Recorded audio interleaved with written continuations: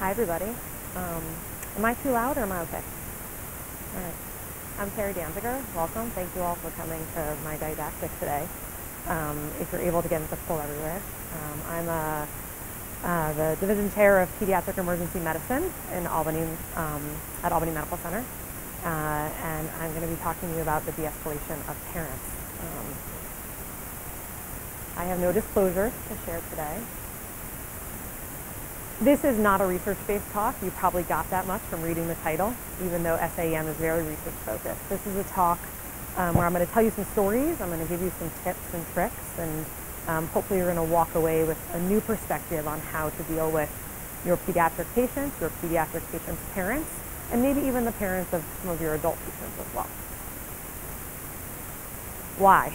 so when I was 19, um, I could date myself, but over 20 years ago, I worked at Starbucks. And they teach you in all of your Starbucks lessons about customer service and quality and atmosphere. And I'm not trying to tell you that this is about all about customer service. But what this is about is them teaching you that if someone comes back and says, my drink wasn't hot enough or you didn't get my double, triple cappuccino right, you don't fight with them about it. You don't argue with them about it. You put it aside and you make a new one. Because ultimately that's the easiest solution to give them the quality product that we were trying to make. And what we're trying to do is give quality patient care. And that means quality all the way through. Not just the care we're giving, but also that connection we're having people, that communication we're having with people. If we escalate, if they escalate, we're removing from that quality or removing from that satisfaction. And so that's where it comes from. I have worked at six different hospitals at this point in my career. Um, I, I also have a very anxious mother um, I also have children. So all of those experiences over the past 20 years have kind of helped me hone into this, how I feel that I am somewhat expert on this talk with still a lot more to learn because I learn on every single shift. So now we're going to hope that this works if you can pull up um, from the barcode here and then we'll get into our little bit of our survey.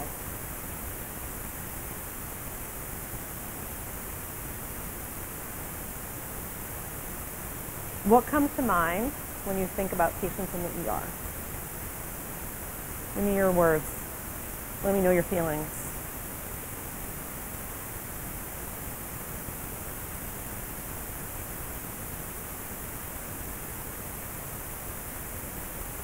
Anybody else feel annoyed? Sometimes. Annoyed.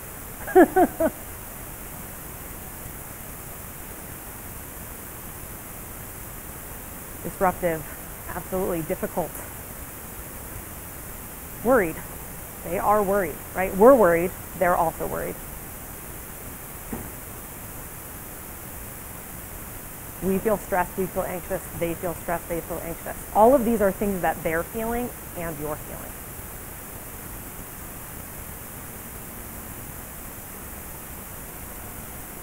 How frequently are you yelled, screamed, sworn at by a patient or a parent?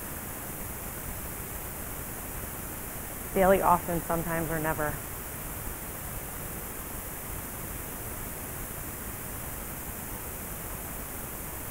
That's a lot. I know, I mean, in my, in our adult ED, you guys get yelled at five times a day. This is not easy. I've lost my temper and yelled back.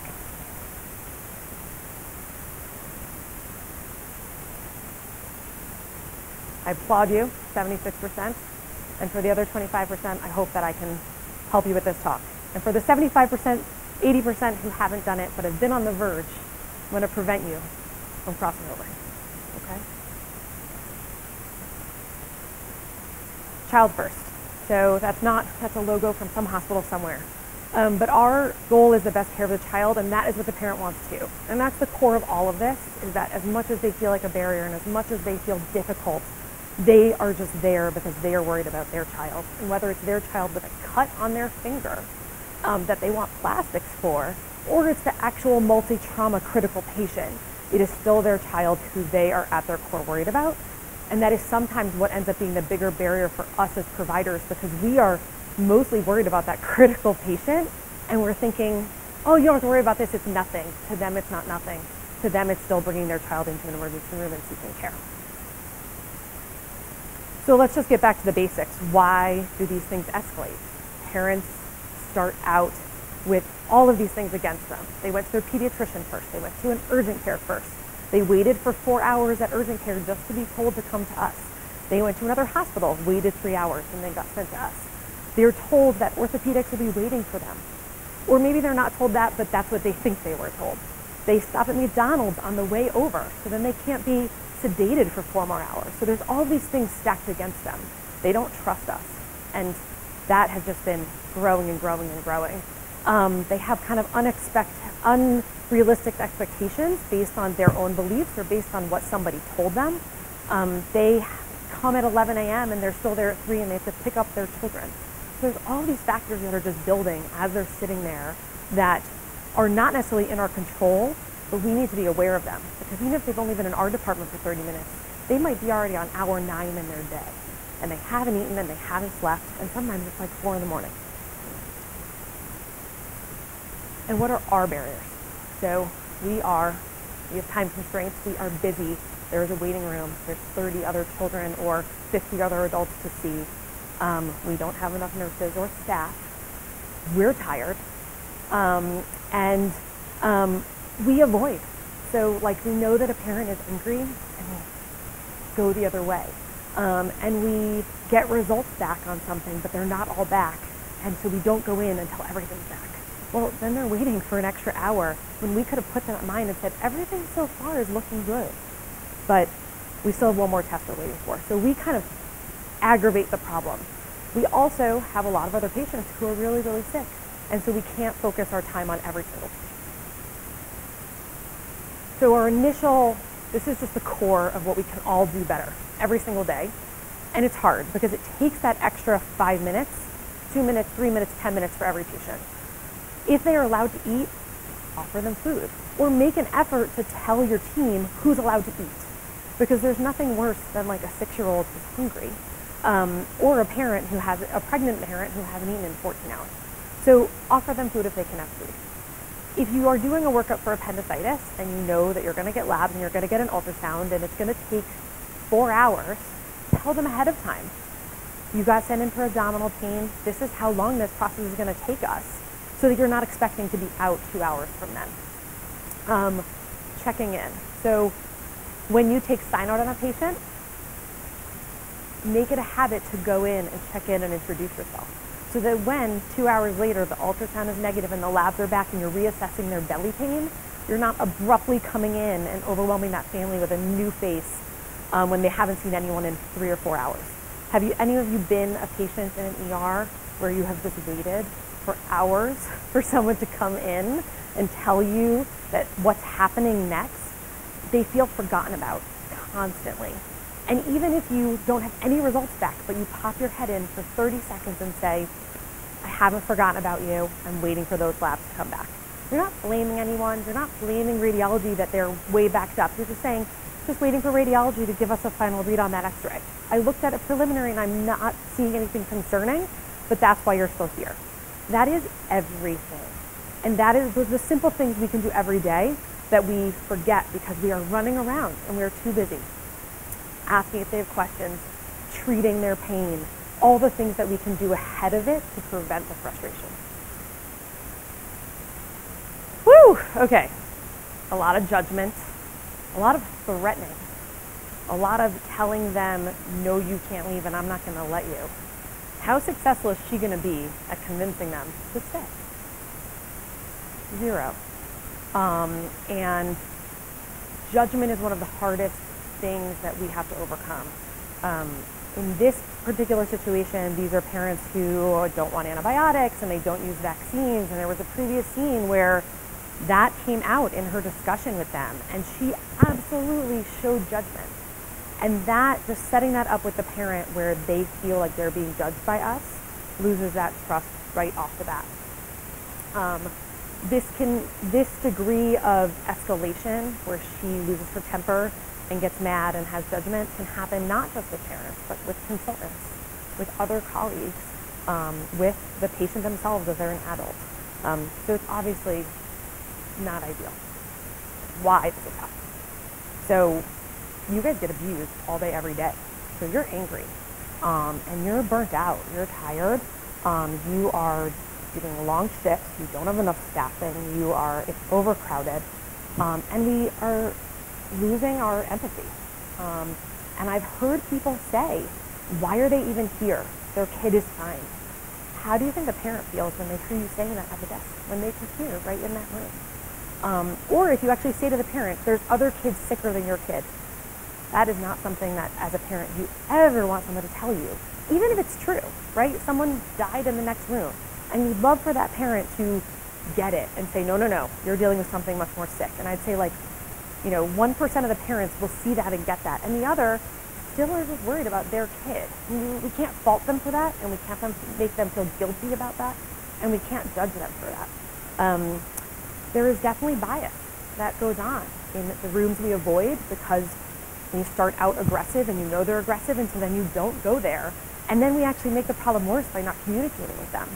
Um, there's families who we absolutely treat differently even if we're not intending to because there's an odor coming from the room or because they're more unkempt. Um, and those are the things that are implicit, those are the things that we're, we are not intentionally doing, but we do them. And parents can sense them. Um, I had a mother who was like, you're annoyed with me, aren't you? wow, you read me really well because I was annoyed with her and I was not doing a very good job of hiding that. Um, and so we, it's, it's very impactful how we are feeling and it's very impactful these engagements we have with families and parents based on our own experiences. And so what I'm asking you today is to take a step back, take a deep breath, know that our jobs are hard and you're tired and you're overwhelmed and it's really hard to have empathy for the parent who is losing their mind about a cut on the chin. Um, but reframe it and bring yourself back to understanding that for this parent, for this child, this might be their worst day that they've had so far, and it's very overwhelming. And maybe that parent, the last time they were in the hospital, their parent died, and it's really traumatic for them. So finding that empathy again and taking a step back and thinking, how can we make this right? How can we bring our kindness how can we just be nice? Um, and how can we help them figure out the barriers, figure out the communication, and avoid the conflict?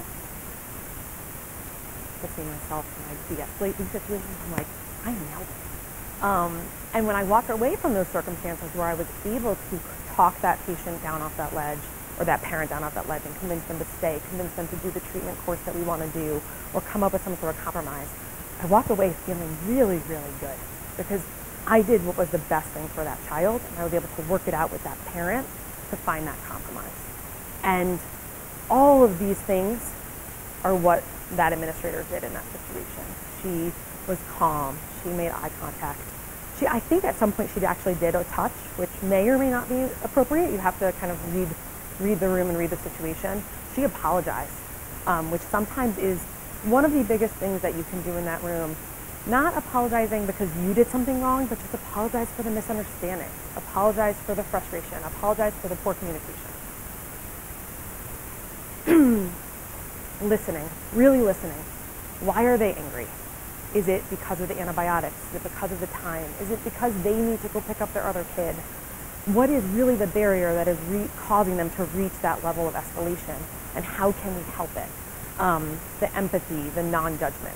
Um, certainly, you know, people are going to make choices about not doing vaccines. It's not our job to, you know, change their mind in the emergency department. Um, acknowledge wants and feelings and taking responsibility, and that falls into the apology realm. Um, I am so sorry that I haven't been back in this room for three hours. Now, you're not going to say there was a sicker kid and your kid wasn't as important, but you can give them a sense, you know, we're, we're a very acute department right now. I'm really sorry that I haven't been able to check on you. Is there anything you need while we're waiting for X, Y, Z? And those are kind of the language that you can use. Avoiding threats and finding those limits. So the minute you say, you can't leave, I'm not going to let you, they're booking it. Um, and I will say that I can count on one hand the times I've ever really gotten to that point of telling them, you can't leave because we're going to do everything in our power to get to that point of compromise and figuring it out before we even talk about what they can and can't do. Because generally, even though it seems like an impossible mountain to climb, we can always find a compromise um, and try to work it out. Um, choose wisely what you insist on. So you have a baby who's 45 days old and they have a fever and you're worried about meningitis and our protocol tells us to get an LP and the parent is not consenting to the LP. We can't insist on the LP. We can't force the LP, but we can still do the treatment for meningitis. We can still give antibiotics.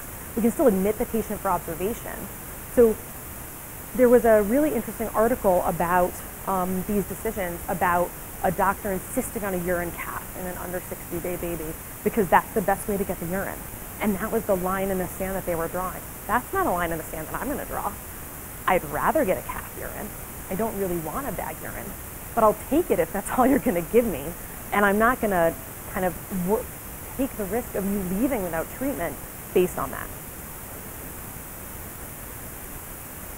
I made this slide because a lot of parents are crazy. And there's crazy because they think they deserve special treatment. And then there's crazy because they think they're getting mistreated. And there's all sorts of like crazy in the middle and a really small portion of people that are normal. And you kind of have to read the room. You can't take the same approach with everybody. So there are some parents who want all the details and want every single thing down to the down to the fine, you know, nitty gritty of it. And then there are parents who don't want any of the information, but just want to be told, I need to get admitted or I need to go home. Um, you have to figure out who's escalated and why they're escalated and what's going to be your best approach with them. Um, and then you need to know, um, know your allies, know your data. So if we're going to talk about a head CT and who needs one and who doesn't, referring to PECARN or referring to any of the guidelines sometimes will help the parent understand why we really don't think your child needs that head CT. Now, are you really going to always go to bat every single time about doing it or not doing it? Maybe not. Um, but if that's your tipping point, there's a lot of places that you can reach from to help support what you're trying to say. What happens when you can't? Have you failed? What happens when you fail at de-escalation and the parent is still there and they're starting to threaten you and you're starting to feel scared? I call it the tap out. You remove yourself. You have other colleagues who might be over somewhere else in the ED that you can ask for their help. There's usually a medical director. There's usually an administrator on call um, you find those other people who can help you in that situation. Generally, you have a risk department. Generally, you have a legal department. You find out what the rules are in your institution before you take your first shift. What are the AMA rules? Are these parents allowed to leave? Am I supposed to sign them out AMA? Am I supposed to call CPS every time? That's a whole nother lecture that I give. That is a whole nother hour talk. Um, but you're, you don't, you're not in there by yourself. You're not the end all be all. And especially at a resident level, if there are residents or fellows in the room, when you're reaching this point with a parent, get your attending in there sooner rather than later. Don't let it escalate to the point that that attending then cannot walk it back and try to figure out what to do next.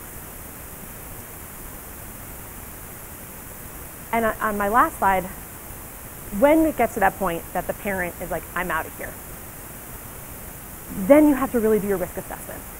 Who can leave and who can't leave? And again, a whole nother lecture topic. But who is at imminent danger and who is not at imminent danger? And what compromise can you make? Can you do a dose of IV antibiotics and send them home with oral? Can you send them home doing asthma treatment more frequently than you normally would at home? Can you bring them back in 12 hours for a check or another dose? There's a lot of things you can do, and that doesn't mean that they're leaving AMA. You can come up with a non-ideal discharge plan but it can still be a discharge plan and you can still write for antibiotics, you can still give asthma treatments, you can still give them all the same care even if they don't totally agree on the final um, path of admission or not admission. So don't forget that there's still a lot that you can do for that child even if you and the parent aren't totally seeing eye to eye. And don't forget that the ultimate goal is doing right by that child. If ultimately you can't come to an agreement, you are going to involve your risk and your legal and your CPS and, and your security. Um, but I'll tell you, in 20 years, I've only really had to do that one time, um, which means that it should be something that we do very, very infrequently. Um, and I hope that um, this talk today has helped you to get some of those tools. It's brief. I could talk about this for much longer, I've already gone over time. Um, but just reminding you to, that kindness, um, empathy, communication is at the core of everything we do for patient care and quality care um, and doing our best care for that child. Um, so thank you so much all for being here and coming to my talk and um, reach out with any questions and I can open for questions here if you have any.